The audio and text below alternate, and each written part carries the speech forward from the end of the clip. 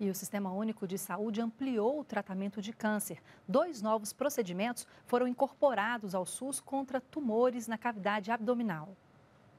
Peritonectomia em oncologia e quimioperfusão intraperitoneal hipertérmica.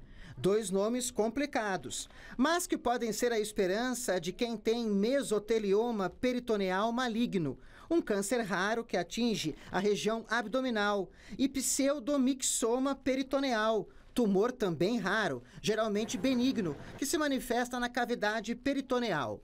E agora os dois procedimentos vão ser oferecidos pelo Sistema Único de Saúde.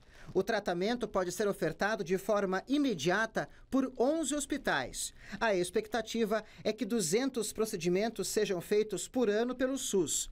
Mais de 6 milhões e 700 mil reais devem ser investidos anualmente na realização das novas técnicas. Para o ministro da Saúde, a inclusão dos novos procedimentos é importante mas é preciso prevenir a doença.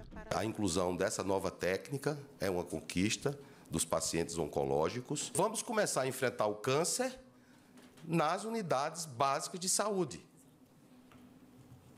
E nós precisamos ter uma política de detecção precoce do câncer.